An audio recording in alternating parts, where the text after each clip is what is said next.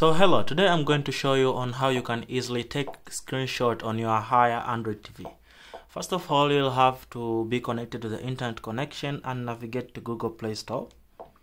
And after doing so, you will have to search for an app called Button Mapper.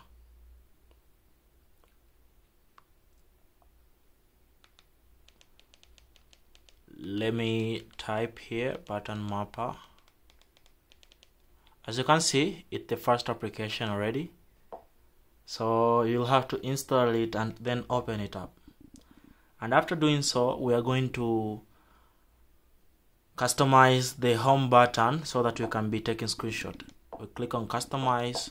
When we long press home button what should it happen? Uh, when we long press home button it should screenshot.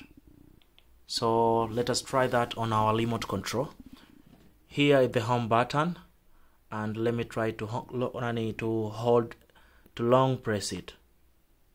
As you can see it has already taken screenshot here. Here it is. Okay we can go to home. We long press again. As you can see